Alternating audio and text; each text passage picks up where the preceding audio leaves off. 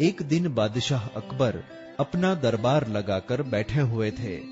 बीरबल अब तक दरबार में नहीं आए थे।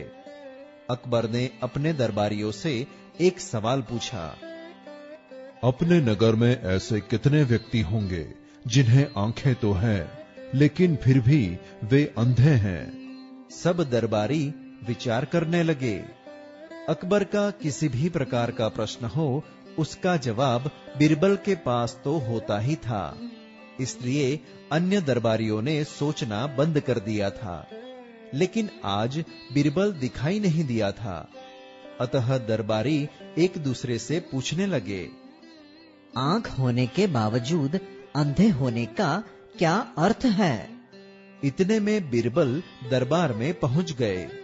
वे अपनी जगह पर बैठ गए और तब अकबर ने भी उनसे यही सवाल किया अपने नगर में ऐसे कितने व्यक्ति होंगे जिन्हें आँखें तो है लेकिन फिर भी वे अंधे हैं?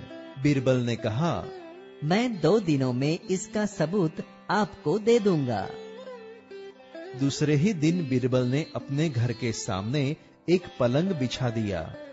पलंग में निवार भरी हुई नहीं थी इसलिए वे वहीं बैठकर पलंग में निवार भरने लगे। साथ ही उन्होंने अपने एक आदमी को कागज़ व कलम लेकर नाम दर्ज करने के लिए बैठा दिया। देखते ही देखते यह बात पूरे नगर में फैल गई कि बिरबल रास्ते पर बैठकर स्वयं ही पलंग में निवार भर रहे हैं। यह जानकर लोग अचरज कर रहे थे। फिर तो एक के बाद एक नगर के लोग वहाँ आने लगे। जो भी आता वह बीरबल से पूछता अरे बीरबल आप यह क्या कर रहे हैं? जो भी ऐसा प्रश्न पूछता उसका नाम बीरबल का आदमी अपने कागज़ पर दर्ज कर लेता। धीरे धीरे यह सूची बहुत लंबी हो गई।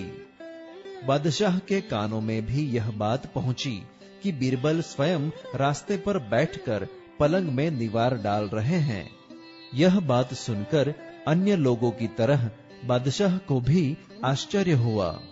अपना सब काम छोड़कर वे भी बीरबल को देखने पहुँचे। वहाँ बड़े रौब के साथ बादशाह ने बीरबल से पूछा अरे बीरबल आप यह क्या कर रहे हो?